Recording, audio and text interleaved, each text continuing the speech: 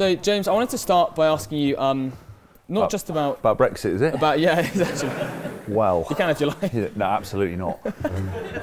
So it's not just about your career, but we spoke about it upstairs briefly. It's about um, the emerging players, and you said that there's a culture of being sensitized. Um, what effect do you think it has on future players in the game at large when up-and-coming players become sensitized in the kind of culture of them being themselves and the personality they're allowed to grow?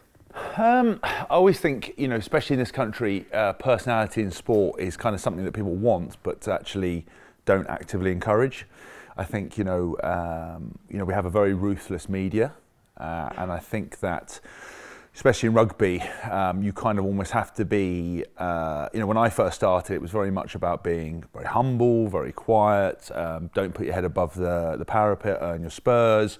Um, the media was somebody, you know, people to be feared, um, and you know, you weren't to do anything outside of rugby. If you had a character, then you were obviously, can I swear, a dickhead? We're you know, so, um, and and all this kind of all this kind of stuff. And I think that uh, players now, you know, in my, kind of generation when we came through, I was kind of the first academy player, or the, uh, you know, out of that kind of mix. But I still was interacting with players who had known amateur rugby, so they had jobs, they'd had everything, so they kind of were a bit worldly wise. They had real character. Now, you know, you look at it and the players are coming off, you know, they've been picked up way earlier, kind of 14, 15 years old. All they've known is, is, is rugby. Um, you know, the media's, um, you know, become, I think, more ruthless. If you saw in kind of 2011, 2015, I don't think we've got into the same territory as, as football players, but there's a lot more scrutiny. I think social media um, has kind of taken things to a new level. I think mobile phones have, you know, turned everyone into a paparazzi. So you've got all those kind of things into a melting pot uh, where players, you know, are actively not actively encouraged to be themselves or to to have personality. Every time you do, you know, a photo shoot or a video with someone, you know, you've got to be so careful what you say. They're going to cut anything else that's really interesting. So if you ever watch anything now, it's like, yeah, no, you know, I, I like I eat a lot of protein. I have a lot, you know, I, I eat a lot of chicken, and you know, you know, what do you think about this? And oh, let me draw a picture of my teammate, and that's as exciting as risque as it gets you know, or like, what do you do on your day off? Oh, I go for coffee with the lads. You know, it's just like, it's just what it is. What it is. And then you know, you say something funny. They're like, no, can't put that in there. Can't do that in there. And I think that's kind of a almost an indictment of where the rest of the world's going now. You know, we talk about like the, the snowflakes and people. You can offend anybody doing anything now. And I think sometimes you've got to you know, stick to your convictions and realise that people are going to get upset doing anything, and everyone's got an opinion now. And the problem is, it's one click away. So, I've tried to make sure that I've always retained my kind of personality, my enjoyment, because I think you only get one shot at life. I might be completely wrong. I might come back as an earwig. I don't know, but I don't. I don't. I don't think so. You know, I think this is not a dress rehearsal. So, so you've got one opportunity. I'm. I've made the most of my limited skill in rugby. I've you know had some amazing adventures. I've had some journeys. I've put my foot in it. I've done I've done stuff. I'm I'm like Marmite. You either love me or you hate me. There's a queue around the corner of people that hate me just as long as the people who like me. Um, but I've enjoyed myself and I've made the most of it, and that's kind of the way I want to want to be really. Uh, and I and I think people often apologise now for, for too much stuff, and I think having a personality in sport is a really really important thing. So you certainly you certainly done that, especially with your social media. Do you feel as though the culture is changing, or do you feel as though you're pushing against a tide that you can't really beat? Um, I think it is. uh, You know what? I think there are boys now doing a bit more. They realise they've got a bit more freedom. but you know, I also think there's a, there's a, another set of people who are who are almost making a rob for their own back.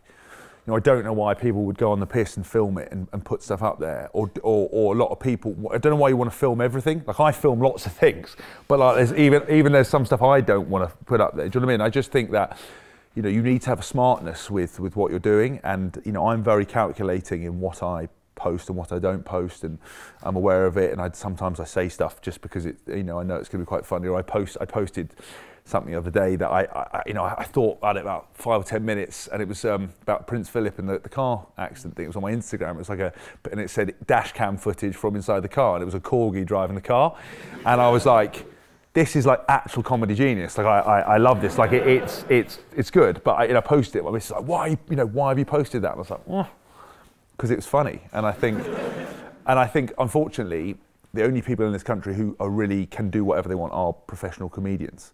and I'm sadly how much I like to pretend I'm not a professional comedian. So I, I have responsibility um, to, to do things. But I think boys are slowly doing that. You'll see that they're, they're branching out and they do they do bits and pieces. Um, but I still think they're not encouraged to, and I still think that anything you see coming from you know say the England squad or coming from from club stuff is is very you know, sanitized. Like I think, but Bristol Bears have probably got the best social media stuff that they've done um, because they just put it out there. They make create entertaining stuff. They know some people are going to be really upset, and there's a lot of old you know angry old rugby people. Like, Whoa, you know, I get it all the time. Some bloke commented on my my. Um, uh, the, England did a video of me talking about all the different things I do off, off the field, and someone wrote underneath it, saying, if James Haskell spent less time worrying about diggers, less time worrying about diggers, and less time focusing on his wife, he'd probably make it back into the England team. And I was like, oh, I knew diggers were going to be the downfall of it, and my and sod the wife, like obviously what an idiot. Um, so so you're always going to get people to get real rattled about whatever you whatever you do, but I think you've got to stand by your convictions and and have character and, and leverage off what you're doing. Um, but, but try to be sensible. But remember that people get the knickers in a twist about everything.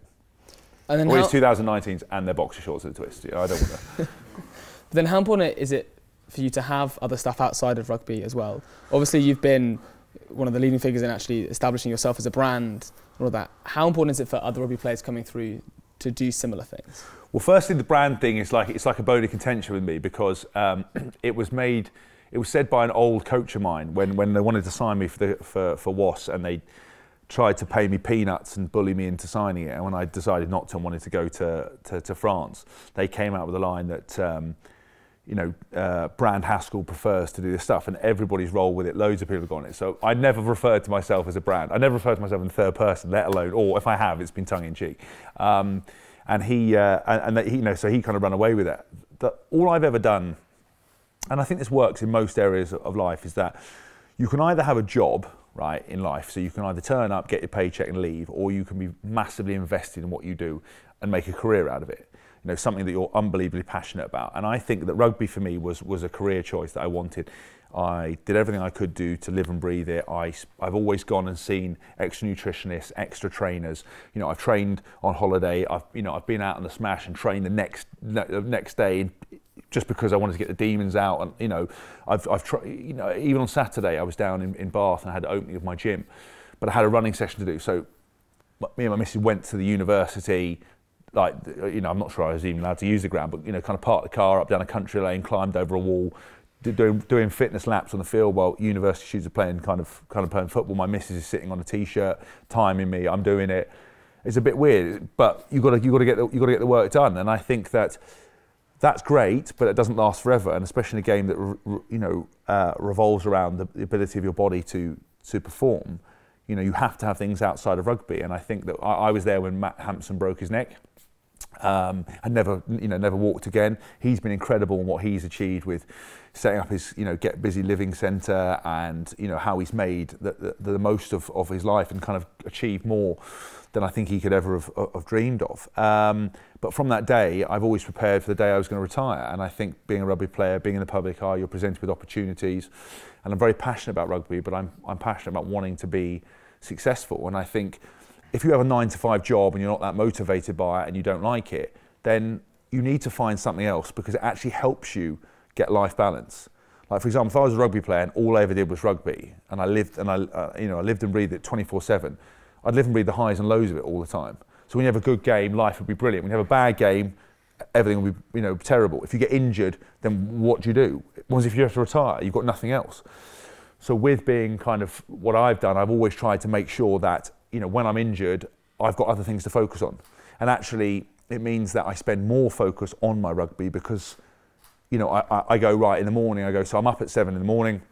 I'm into training 8:30 you know, I, I'm, I'm there all day until four o'clock. I tick every single box that I need to do, do my extras, you know, whether that's fitness, diet, training, mobility, physio, and then my work day starts after that. And I know when I go home, I can put rugby to one side because I've done nothing more, you know, got nothing more to talk about, and I can, you know, work. I'm launching a, house music radio show. I can work on that. Or I can do all this F45 gym stuff, or, you know, write a cookbook, whatever it might be that I was doing at that particular time. And I actually find it it makes you feel like you're achieving stuff and you've got a good work-life balance. And it's and it's and it's it's important to have that because a lot of people don't aren't always interested, they're not always lucky enough to do what they want to do. You know, and, and anyone who's ever been really rich and successful never started out to be rich and successful. They start out because they had a real passion. A lot of people don't know their passion. A lot of people don't know what they want to do. You know, they always, you know, there's always a lot of responsibility to say, what do you want to do? I had no idea what I wanted to do. I never wanted to be a rugby player, but I kind of gave it an opportunity, gave it a, chance for a year, and I'm still doing it 17 and a half seasons later. But within that, I wanted to make sure that I, I um, always maximised every opportunity I had to kind of develop myself. And I think now doing stuff off the field is a really good balance, and, it, and, it, and it's so eclectic. The only problem is I should probably, you know, focus more on one particular thing. I mean, it's, it's better to do kind of two things really well than ten things kind of badly. And I, I'm like a workaholic, so I'm like driving a digger on a Monday. I'm like DJing on a Tuesday. I write a book, a book on a on, on a Wednesday. You know, you know, doing you know after dinner or corporate work on you know another day, Thursday. So it's um it's good though. It does make me feel like I, I've got a balance. I know that hopefully when my career finishes, I'll be able to transition out of that. It doesn't take away from the fact that no doubt I'll be, you know, I'll struggle a little bit because I think people always struggle when they've done something for such a long period of time and they have to have that kind of transition. But actually, I think it's really important to have a hobby, and it's so easy now. Anyone can set up a business. You can have a, you can set up a limited company in two minutes, and you can set up a website in in you know a couple of days and be selling or working or writing or blogging. And I recommend to anyone if you've got an idea, and you're really passionate about it, do it even if you were studying, because it gives you some other balance. Because when you're sick of doing what you're doing, you can just go back and do that, and it, it's fun and exciting. It's passionate, and you'll and you'll you'll enjoy yourself. So then, what boxes do you feel as though you still have to tick before your career's up? and then, what do you want to any out of the kind of out of the way boxes that you want to move into afterwards? Um, I would love to play for the Barbarians. I've never done that. Um, obviously, I'd like to win a World Cup um, and and or, you know and, and, kind of go to a third World Cup you know, that's kind of quite a long shot. I'm, I'm sort of quite far down the pecking order. Obviously, not playing for, for eight weeks and other guys going kind of well. Um, that's you know, it's always kind of be a, uh, a long, a long haul to get there. Um, I think, I think you know, I'd love to win a, a, a trophy with Northampton. You know, whether it's the um, the Champions Cup or the uh, you know that Don't know whatever this obscure Premiership tournament is I'm playing in this Saturday. You know, I don't, you don't know the names. There's so many things like. Um, so I think to, to, win some silverware would be great. Um, and I just think, yeah, I'd like to keep playing in, until I know that I could play to the level I want to play. And only you know that is when you run out to the training field, you run out to a game, you know you can't do that. Then I'll call it, then I'll call it a day. And I think I'd like to move into you know, I'd like to do a lot more TV and, and, and kind of um, presenting work. I think I'd really enjoy that. Uh, you know, the, and then I'd like to do a lot more DJing. I know people kind of kind of snigger a little bit about the DJing stuff, but it's it's a real passion of mine. I absolutely love it. I was very late to music. I think you know my first CD I bought when I was like 15. I didn't really know a lot about stuff, but I. You know, I started going to Ibiza, started going to Vegas, and I always use music as a tool pre-game. So, you know, my sports psychologist who I started uh, seeing when I was 17, you know, said, listen, we need to get consistent performance from you. Like, how do we, how are we going to do that? And she said, how do you prepare for a game? And I was like, well, sometimes I do this, sometimes I do that. She goes, we need consistency. So have you ever listened to music? Uh, and I was like, oh, not really. I'm not massively into music. And she goes, well, you need to kind of um, find some music that's really emotive that makes you feel a million dollars. Like you've all got that tune, like you go on a night out, you're like, you know, by the bar and you're hearing, it, like, oh my God, I'm going, to, I'm to get over there. Or you're sitting in a room, you're having a bad, you know, you've had a fight with your, your you know, your, your partner, and a tune comes on. It's like Magic FM. You're like, ah, full depression mode. Or something comes on, you're like, doesn't matter, uh, you know, forget her, I'm unbelievable, or uh, you know what I mean, whatever it might be. Um, and uh, I, I, so I, I, kind of had created a playlist, and I, and I used to listen to it before a game. When I started to go to Ibiza and Vegas, you obviously walk walk out there, you know sun shining, there's someone standing at the front kind of DJing, controlling the whole evening. You know, he doesn't have to be musically talented. He's not playing a, a, a, an instrument, but he's controlling the whole thing, or he, she's controlling the whole kind of atmosphere. And I thought, hold a minute, I love music, I love attention. Why would I not want to get involved in that bandwagon? So, so I went and did the DJ course, and, and um, lucky enough, my first kind of gig was um, Ministry of Sound. And the last thing I did, I've, I've, done about 30 of them, the last thing I did was for the Young Farmers Federation. and I got invited down to Blackpool to, to do this. And my agent, uh, I got like a DJ agent, and he said, uh, "Look, we're going to book you for this really big gig. If it goes well, that I want you back." And I wasn't really paying attention because the problem is, while you're being a rugby player, being a DJ is not a very good. It's not conducive to being a professional sportsman. You know, kind of one, two in the morning, late, late night. You can't really do it. I turn a lot of stuff down. But anyway, this was in the off season, so I drove to down to Blackpool. I got there, and you ordinarily, when you ask about being a DJ, you say, "Oh, uh, who's on before me?" Because you've got someone playing like you know reggae or, or, or soul funk, and you're coming in with like hard techno, it's not going to really merge. So you're going to got to know what you're, you're following. And I said, who am I, fo- who am I coming on after? And they went, oh, uh, a band. So that's easy. They're just, you know, I think they were like the Wurzels or something, you know what I mean, singing about combine harvesters. It was going to be easy. And I said, oh, who's on after me? Because there's normally, normally when I've done stuff, um, I don't you all probably know watch Game of Thrones, Hodor. Hodor does something called Rave of Thrones, and he's uh, an unbelievable DJ. And normally I've done a few things where I've like he's followed me as like the main main attraction. So I said, "Oh, who's on after me?" And they went, "No, no, you're, you're it." I said, "What do you mean I'm it?" So you're the mate, the headline. I was like, "Okay, this is a bit weird." I said, "Well, how many people are going to be here?" And they went, 4,000. And I was like. Right, I just need to have a minute. Like I said, I said to my wife, I said, right, we just, I just need to get have a minute. So I said, right, hold on a minute. I, I don't know what I've got myself into. I'm headlining for these people. There's 4,000 people. And I said, it's not 4,000 people in this room. They're like, yeah, there'll be 4,000 people in this like giant winter garden or whatever it was. So I went out on, I went out and um, luckily it all went real well and, and kind of, um, you know, smashed it and had a great, they had a great time. So much so that actually they, they've banned it ever happening again in Blackpool because everyone like basically had a riot outside, not because of my music. That was the best bit. Like the Daily Mail, the Daily Mail kind of put an article like, "Oh, young, you know, rich posh farmers um, destroy Blackpool," uh, and one of the acts was me, and I was like, "How have I been associated with that?" like I didn't do anything. Um, so they had a great time, but actually, that, that was for me was the the closest I've got to playing. And my wife said to me, "Oh, you, you, um, I've never seen you so happy." And for me, I want to do much more DJing than anything else because I think it's going to be a nice transition. Because imagine, you know, you've run it run out in front of 86,000 people every week you're performing, and suddenly like that you're not. And suddenly no one cares who you are, what you're doing. Uh, you don't have that kind of thing. You haven't got any teammates around you. But actually, I think DJing, going out performing, having that nerves, watching people, you know, interact with you and having to perform, I think for me is going to be a real nice thing. I don't, I don't know how long it will last, but I think if I could do, you know, if I could do two speaking gigs a month, you know, two DJ gigs a month, and do a presenting job or do stuff around my, my health and fitness, that would be that would be the ideal bits to achieve outside of that. You know, once I've finished with rugby, whether that's next week or, or you know next year. Why don't we open up up to the floor now? Uh, so if you want to ask a question, just raise your hand. Uh, we'll get a microphone to you.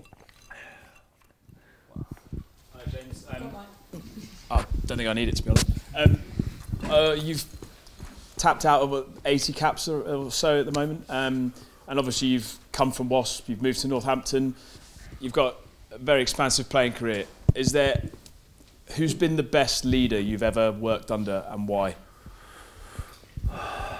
You can say yourself if you want to be a dick.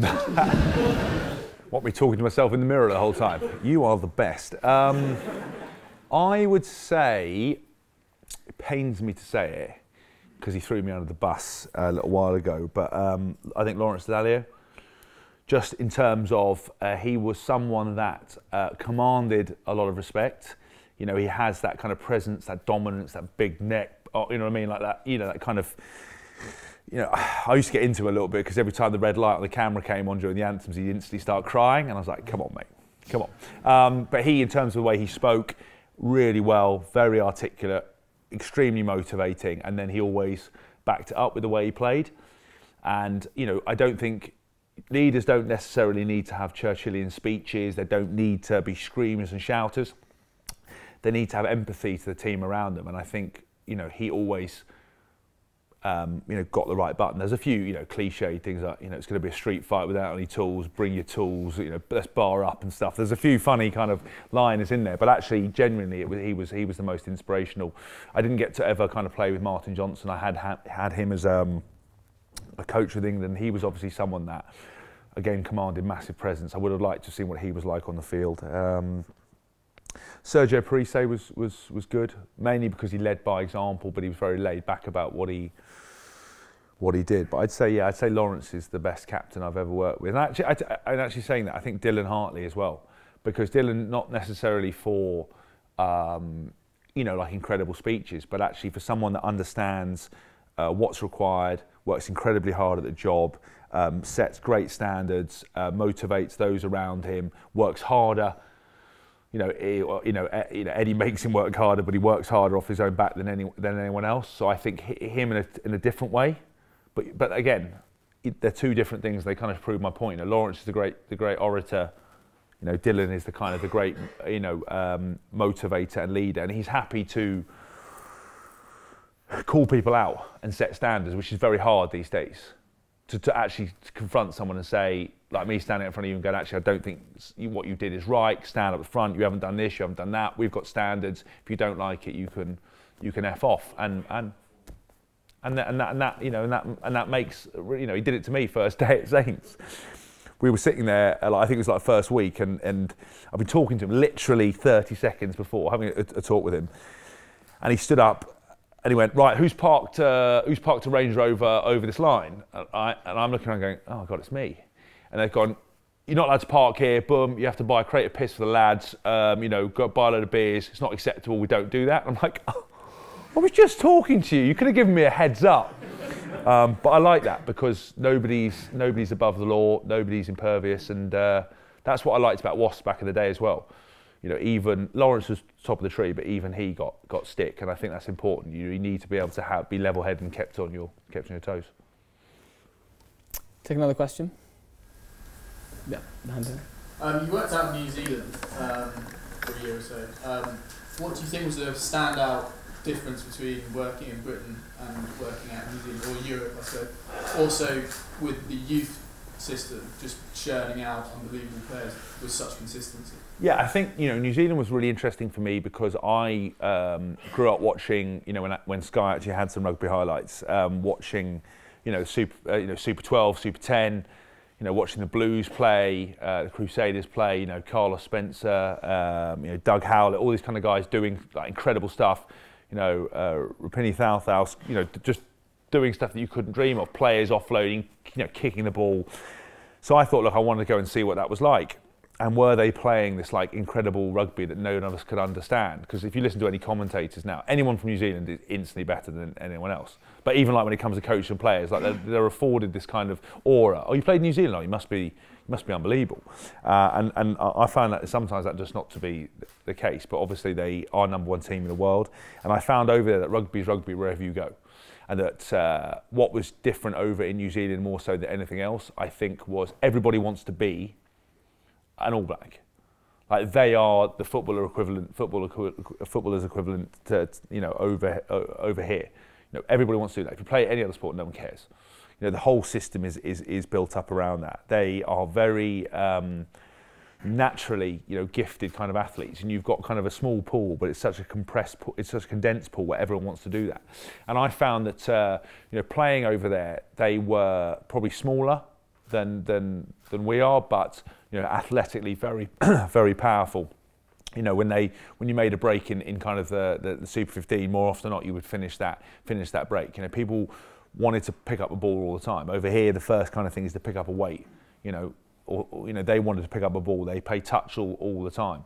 Um, you know, their their club rugby is, is stronger than our club rugby over here. You know, if you don't play for the Super 15 side, you'll end up being, um, you know, go back playing for your local club. So you know, you could be a, a normal rugby player suddenly playing against Ma'a Nonu or, or or someone else like that and I think that makes a, a, massive difference. I think the surfaces are better over there consistently. I think you you know you're playing, you know Australia and South Africa.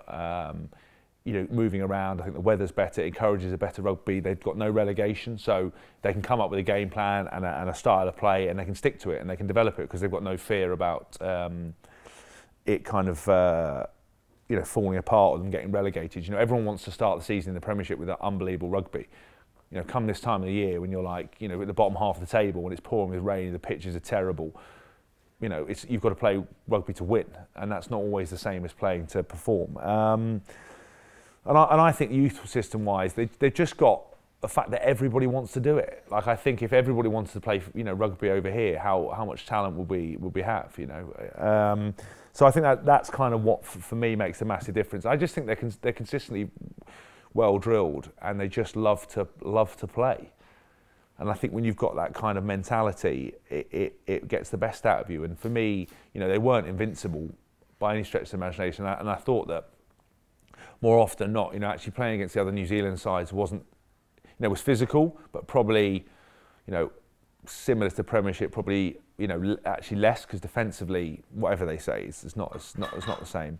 Um, you know, Australian sides were actually probably not as tough as the, as the Premiership, and then the South African sides were you know, as tough as the Premiership or actually much more like a Test match.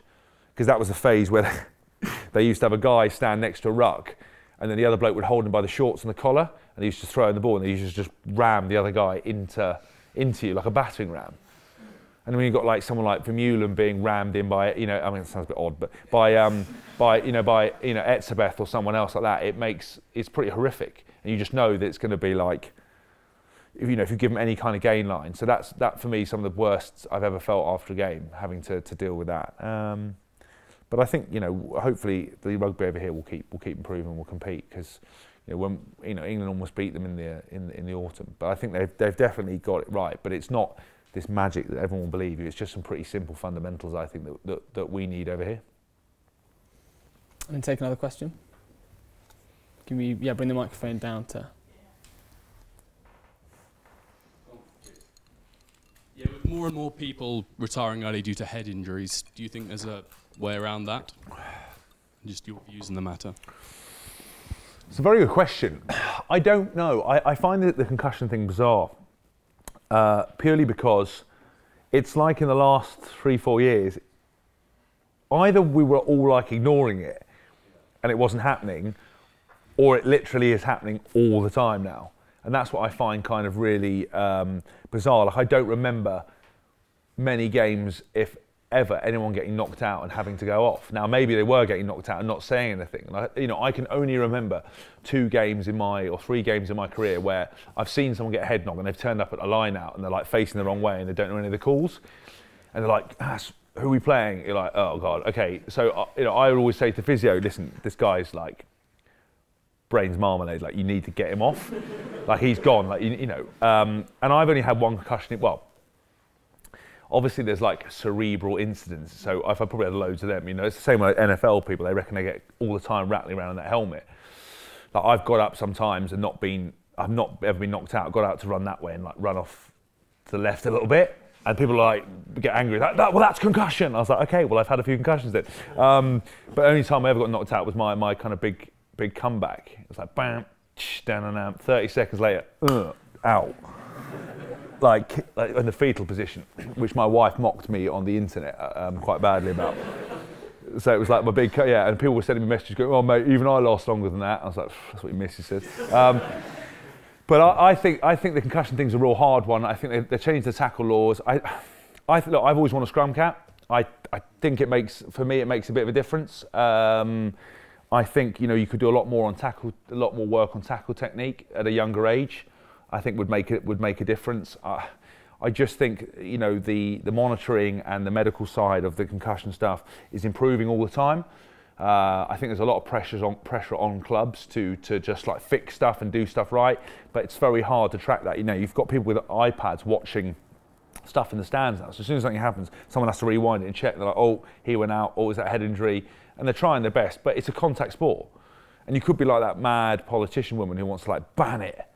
But it's like a contact sport. It's like, how do you make boxing safe? You can't. People are punching each other in the head.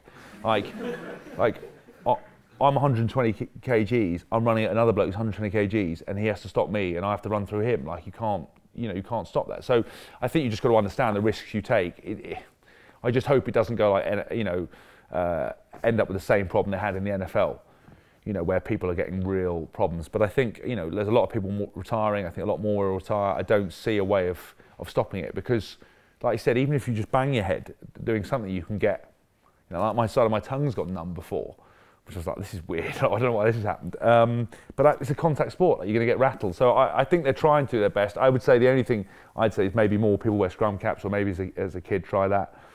But there's not much you can do, I don't think, at the moment. A few net curls as well.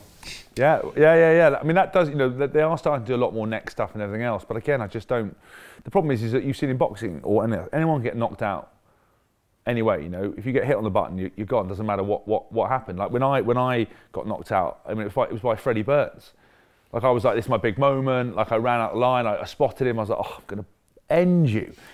And uh, I ran up, and honestly, the, la- the ball came. He was up in the air like that, and the last minute he saw me, and he turned his hip, and my my my temple hit his hip bone. I don't remember anything, but I'm, that's the first concussion I ever had. You know, one millimeter the other way, and I'm back. You know, but sadly I wasn't. I was off. And didn't want to come down to the hand? Okay, um, I have to make a decla- declaration in that I'm on the dark side. Um, ref, so, asking the question: Are there any referees out there who you really do admire, and are there actually, you know, it's like who you really enjoy playing under, Um, I love Nigel Owens. Um, apart from Nigel? I love Nigel I mean, I, I've always had. Um, I've never had a problem with referees. I mean, I am the most carded. Uh, I, I, I am literally the most carded England international ever. That's like a terrible stat. That's gonna be like, that's gonna be like my legacy. Um, they're all for different things though, which is kind of my why one get out of jail free card. They weren't like consistently doing the same stupid thing. There's just a lot of stupid things. Um, no, but I remember like I, I remember Alain Rolland, for example. One of my yellow cards was that uh, the week before we were playing against Australia in the autumn internationals, and the Australian scrum was absolute toilet at the time. And on- every time we were hitting into it, uh, their front row was just folding. And a lot of referees don't referee that. They see a scrum go down, but they don't realise the guy's just hinging from his hips. He's just putting his head down, and the boys are falling. It's so dangerous because the guys are slamming into the floor. And I remember turning to Alan and I said, and, and I think um, Dylan Hartley was, was, was playing hooker at that time. I said, but you've got to referee it. He's dropping it, he's dropping it. And he said, you know, how about you do your job? I said, how about you do your job? Like, da, da. hated that.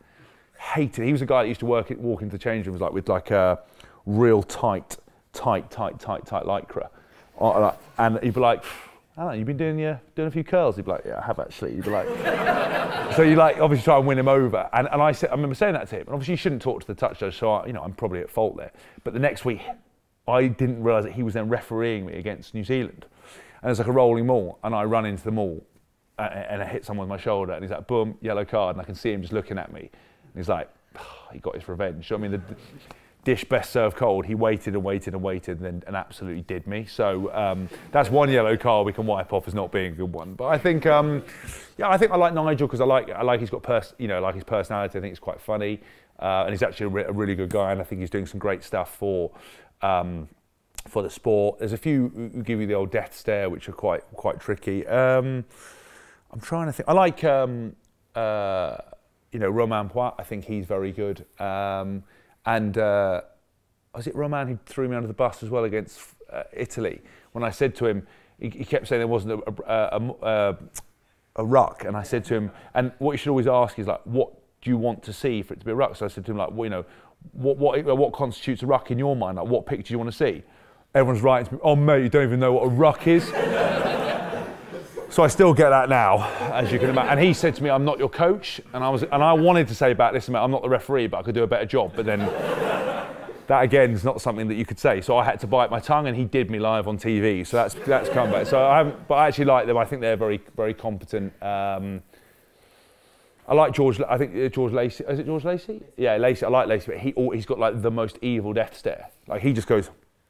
I'm like, why are you like, why are you staring at me? If you want to fight me, like you're actually quite a nice guy. But so, so I like them. There's not anyone that I'm like particular. I don't mind. Re- referees for me, they're there to facilitate. You know, I think they're, they're not there to. Uh, you know, if they're there to, to take front center stage, and they're doing the wrong job. They're there just to make decisions. It's a hard, it's a hard job to make. They're, they're only human. You know, as a player, all you ever want is consistency, and it's a bit of a wild west at the moment because they're trying to get these things sorted out, um, and especially the um, the video referee. Like some of them blokes need to literally go to Specsavers. You know what I'm saying? Take another question. It's a hand in the back.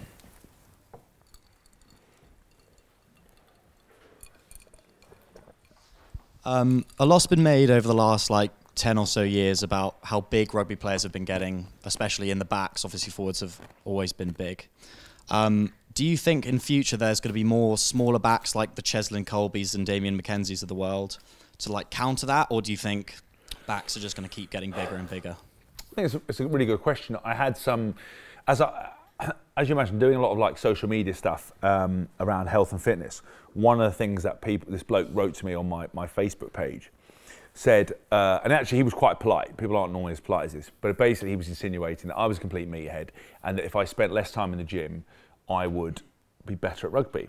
But he, he asked it way going, listen, you know, do you think that your career would be better if you were smaller, if you were more mobile, if you were agile? So normally, I either block these people if they're being rude, or I, you know, sometimes I lose my mind and I just, you know, mock them for having terrible teeth or something else, wherever it might be. But I decided that I was going to reply to this guy properly and actually explain to him, educate him for, for the benefit of everyone else. And actually, f- for me, you know, my I, I spend one day, one hour a week in the gym. That's it. I don't do anything else. I don't do any bodybuilding weights. I don't do anything else. I look after my diet, but all my stuff's around mobility and, and power. And I think, you know, over here, you know, with the question we're talking about New Zealand, there is that encouragement to be bigger. You know, I think as a as a as a as a country, uh, you know, we have a lot of men who want to get in shape now, want to be bigger. You know, we've got bigorexia. You know, everyone wants to be kind of you know kind of bigger and everyone's working out and training now. And the question i get most asked by young players young people is mate how do i bulk up? I'm not you know i keep dropping off tackles. I'm you know not big enough. And i always say to them look it's not about that it's your technique. It doesn't matter how big you are you know if you can't tackle you can't tackle. If you don't want to tackle you you won't be able to tackle. It doesn't you know. Um, and i actually think that at some point there's going to be a, a tipping point where mobility is going to come into play um, that you know the, the backs and stuff will even themselves out because now the backs are the same size as the forwards. You know, we've got a guy playing for us, big T's, like 130 kgs on the wing. Like he's bigger than all the forwards. Um, and, you know, I, I think, you know, when you look at it, all the back, you know, before everyone used to do the same training program, which was wrong because the, the forwards need to do different stuff than the backs and then they used to have separate workouts. Now the backs are as big as the forwards. They're all doing the same stuff again because they, they need to do that. And I think I think it will change. I think rugby is still an inclusive game, and I think that a lot of maybe talented players get overlooked for size. You know, there might be, might be a better player, but if someone looks bigger or perceived bigger, the people select him. You know, more often not would go for the bigger player. But I think that will change because there's got to be a um, there's got to be a tipping point. But while the game is all about the game line, you know, everybody talks about the golden era of rugby. Right? If you've ever watched any of those old games, I'm not like detracting from them, but you've got 14 players running around like a herd that you could throw a blanket over, and they just run from one side to the other. Like tackling's like optional. They like flop on the side, and, a, and a, if you just number 10 just dummies, dummies, dummies, dummies, and scores in the corner, and everyone falls for it. It's like, come on. You know, now you've got 14 players on your feet. There's no space. Everyone's massive, and if you don't get any momentum, you're stuffed. So while that is the nature of the game, size is important. Uh, but I think like likes of Damian McKenzie and that, when you get those unique players who um, kind of almost offset that size and add something else, I think there'll always be a place for them because they can do stuff that others can't. if you've got incredible feet, like Jason Robinson had, doesn't matter how big you are. If you if you're you know running at people in space, and you turn them inside out. That's why Christian Wade's so good because you can do that. But I, I hope there's a tipping point because again, I, you know, I spend no time in the gym.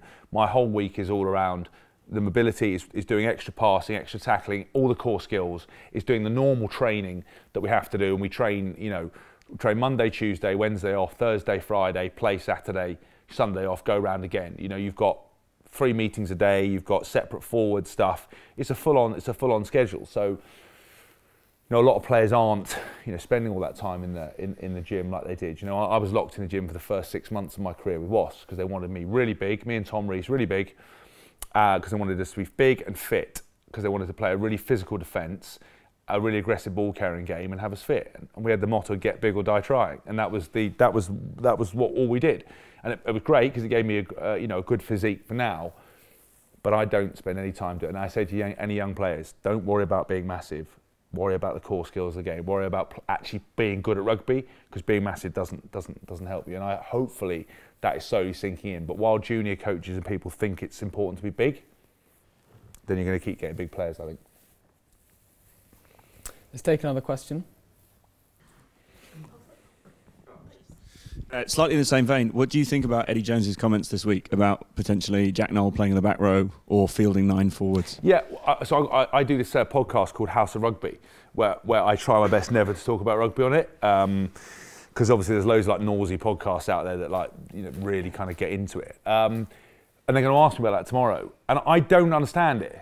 Like it's not like I don't, I don't understand what Eddie's talking about. Like I love Eddie. Like he just says whatever he wants to say all the time, and it's mainly like he's got everyone running around, like blue ass flies, like you know talking about it while they're quietly preparing in in Portugal. I wouldn't say it wasn't a plot, but what's he actually said? He said, "I want to fill nine forwards."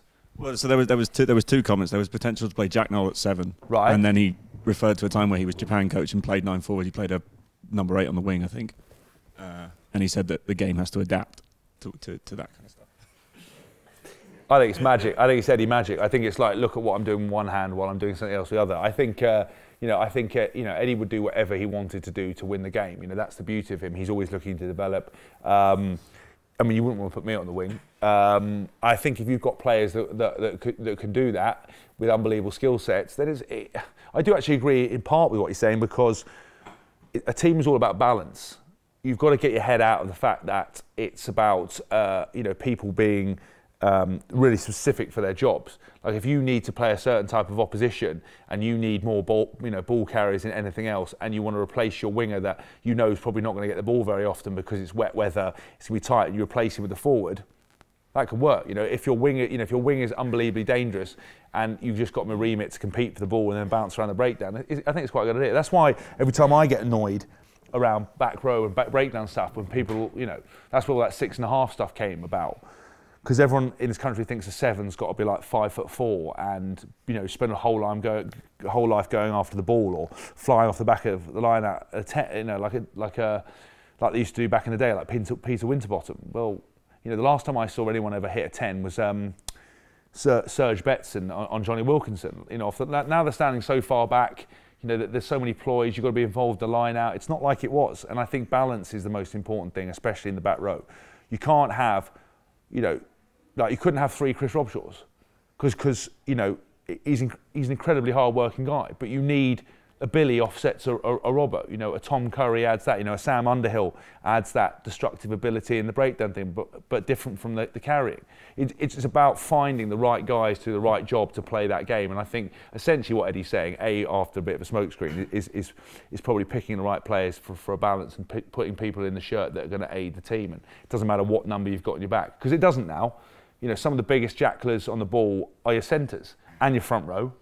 You know, some of your, you know, some of your, your, your, your biggest ball carriers are, are, you know, your wingers now. You know what I mean? It, it, it varies, and I think picking players to perform and not sticking to the mould is quite, quite a good idea, actually. It's very diplomatic of you. no, I, I, that, it's my genuine. It's like my genuine view. Like I don't mind, um, you know, disagreeing with that. It's probably not a great career move, um, but I think I think I understand what he's trying to say actually. But I just think it's it's amazing in the rugby world because when you're in rugby, you think it's like everything. But you realise when you step out of it in the real world, no one cares about rugby. It's still a small, it's a small sport. But while you're in it, if you pull a pin out of a grenade like that and throw it in, it's absolute Norwell City. You've got people like, and sports fans are like, are mad people. Like they literally live and breathe it, and that's why I love playing sport and why the fans are so good, but also equally so kind of keen about it. Is that they always think their team should win, right? They should always win. And it's like, well, hold on a minute, there wouldn't be a betting industry. There wouldn't be anything if your team was always guaranteed to win. And you remember, you're essentially watching grown men chase a ball or a woman chase a ball around a field. Like, can everyone just relax a little bit? But in the rugby world, Eddie says something like that, and they all scramble because all the journalists want to put the knife in, all the fans got an opinion. And it used to be great because you used to just sit with your mates in the pub and say it. Now you're like, I tell you what I'm going to do. I'm going to tell James Haskell what I think of him. It's like, mm, you know, and the problem is, is that you, you, you see what's happening in the world at, large, what, what people send round now, what people are filming. There is just no limits to what people are doing. You know, anyone can set up a po- podcast these days. Like there's a few podcasts out there that are just so toxic that it's, it's, it's amazing that they still operate. But, you know, each their own. And that's why you've got to kind of have a bulletproof demeanour, I think. Let's take, I think, two more, two more questions. Yeah, it's the hand here. Well, he's taking his jacket off. We're having a fight or something. You've kind of hinted at it quite a lot this evening, but do you find with the increase in technology and connectivity around the world, you find it harder just to be you, step out of that public sphere, and have the kind of slightly more private life, or is that not something that you're interested in? No, it's not. I think it's a great question. I, I, it's not something I'm worried about because I tell you why, and this is this is genuinely my view on, on, on social media, is that it's an incredible tool for sharing information and for uh, business and for um, spreading positivity. The flip side of that is it has brought the worst out in humans and has caused uh, people who would ordinarily be shouting at you know their cat or their wall or, or, or you know going mad or commenting on the Daily Mail online section because that's where people's souls go to die there those those people on that those people on that internet they literally think that what they're writing people are taking note and they actually care but it's just it's just you know 250 I'm gonna say it, like real life losers just arguing amongst themselves. And the thing is that I, I, I, I, I'm a bit obsessed with Jack the Ripper. Not that I want to kill people, but I, I, I was reading I was reading a book a book about him. And actually, when Jack the Ripper, was around, the Metropolitan Police were getting a thousand letters a week claiming that they were Jack, people were Jack the Ripper. Like, so I'm writing them going, oh no, I'm, you know, James Saxon, I'm a murderer, I'm, and they were getting people claiming it all the time, and they get it all the time. But that was, that was however many years ago. People are now, you know, that kind of weird behaviour has followed into, into social media. And now people are doing that to each other and insulting each other. And I think we've got a whole new crop of, of insecurity, of mental health issues, of people like, you know, group suicide, whatever it is. uh, We've all, put, we've all connected now. We're all sharing our inner thoughts where, you know, I argue with my wife all the time. Everyone's entitled to opinion, right? But we all know that some opinions are not worth ever listening to. Just look at history. Hitler had some opinions. Like, do you know? Do you do we really think he should? He should have just been shouting at his own, you know, his own reflection. And I think with with social media, I put myself out there, so I take the responsibility. Like, I have no problem with that. The problem is that once you open Pandora's box to that, you invite these nutters in, and normally, um, you know, they were people that would be screaming to themselves. Now it's almost like I'm coming up to that window and shouting at the window. And if you, you know, you wouldn't open your front door to let these people in, so you've got to remember that you're keeping them at arm's length. And I just think that I put myself out there so I don't have a problem with it.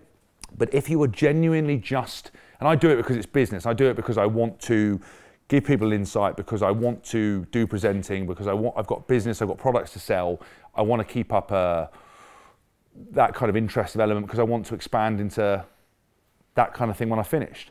But if you're just literally taking pictures of what you ate on your plate, sharing your nights out with people, and I just wouldn't do it. Like, what is the point? That you don't need these random people. You don't need affirmation for people. Like I do it because it's business.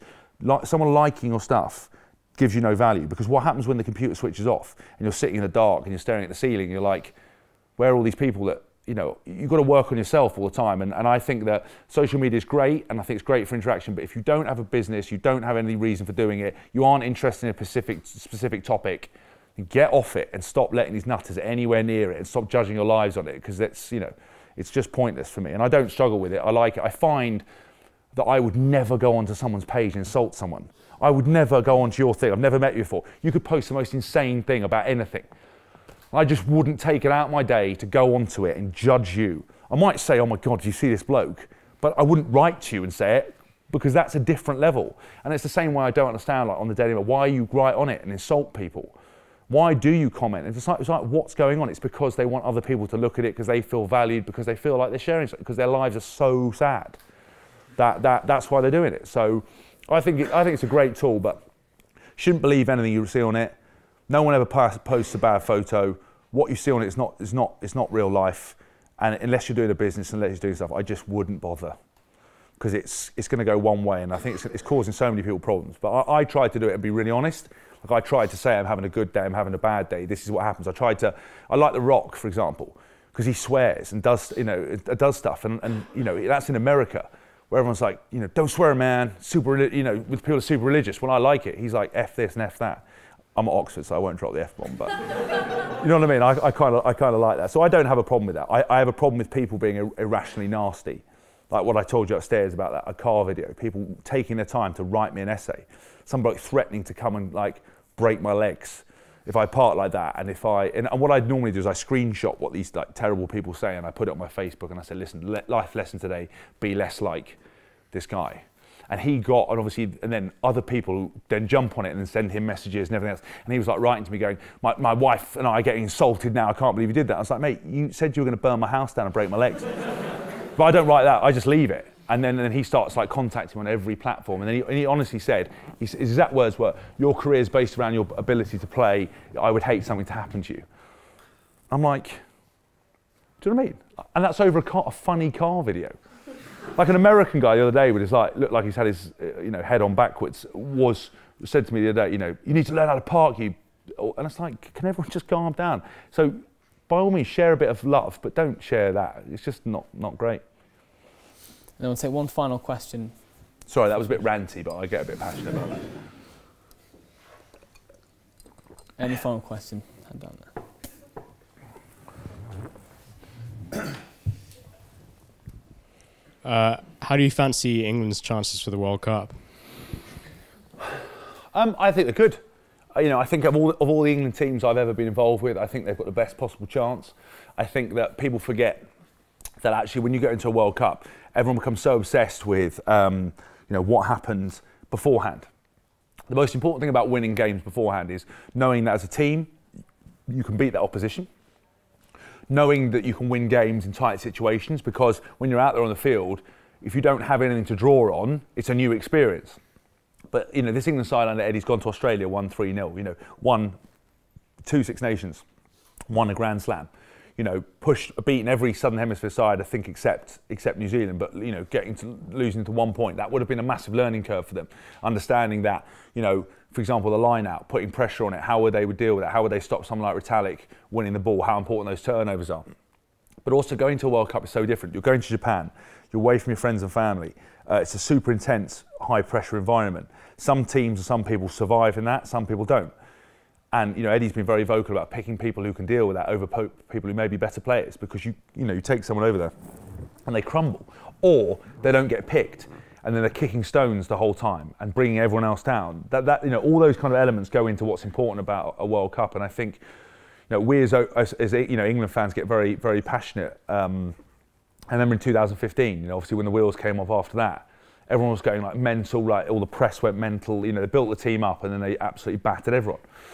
You know, and, and people like Chris Robshaw took like terrible, um, uh, you know, kind of media stuff when he didn't deserve it. You know, he, he was one of the hardest working, best guy. You know, he, you know, for me, he, he, he did everything he could do, and I think that uh, it's important just to you know to, rem- to remember that it's a very different thing, kind of World Cup rugby, and I think that we've got as good a chance as anyone.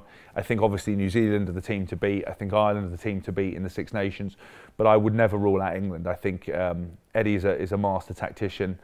He's got a great coaching staff, got incredible players around around him, and I think that if they can stay together, stay fit, and deliver the performances they want, they'll definitely be mentally prepared to, to, to do it. So I would always back England, and, and hopefully I'll be part of it. Otherwise, I'll be like a full tourist, like running like some sort of Gulliver's Travels or something on the on the thing. Right, thank you very much. Ladies and gentlemen, if you want to join with me in thanking James Haskell.